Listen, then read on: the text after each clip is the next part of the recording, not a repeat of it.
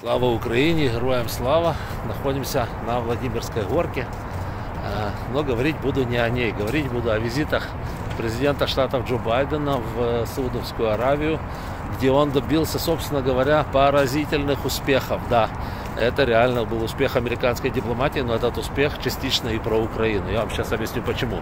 Ну, там часть визита касалась Израиля, там, скажем, изра... израильтянам разрешили летать их самолетом над Саудовской Аравией, что для них хорошо. Но нам это, скажем так, меньше интересно. Зато нас интересует та часть, которая про нас, или косвенно про нас. А косвенно про нас та часть, которая говорит о нефти.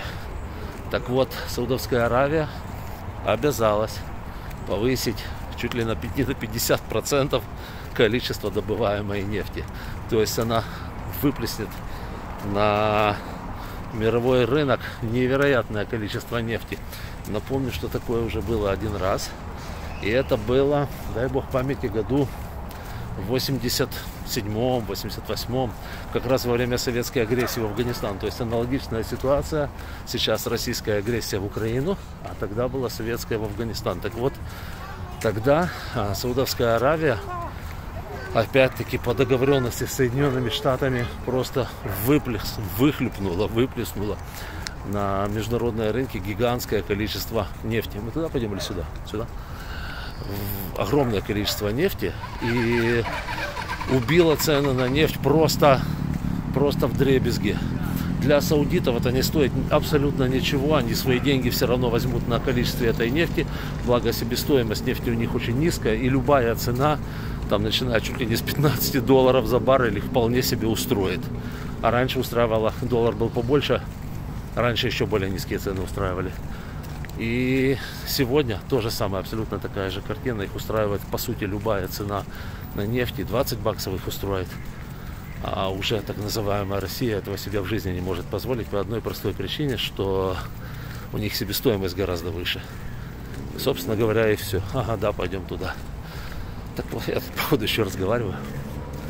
Да, так вот, жена мной управляет, да. Жена управляет, говорит, иди туда, иди сюда. А я, а я как этот самый, иду за ней, когда.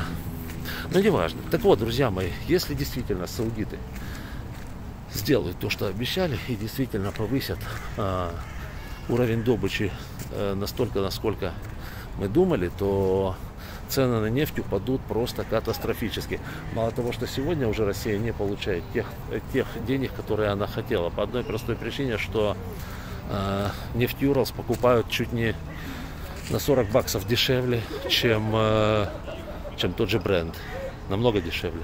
Соответственно, если, допустим, Саудовская Аравия опустит цены на нефть долларов до 40 или 50, что она вполне может себе позволить сделать, то Юрлс не будет стоить вообще ничего. И, собственно говоря, это и будет Кощеева, то есть Путлера смерть. Потому что денег у так называемой Россиюшки больше не останется. Слава Украине!